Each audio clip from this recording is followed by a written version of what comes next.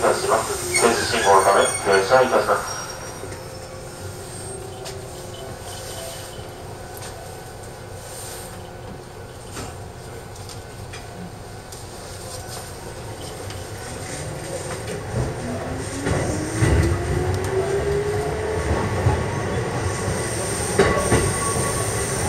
ありがとうございました。川原町、川原町です。これで準備いいようです。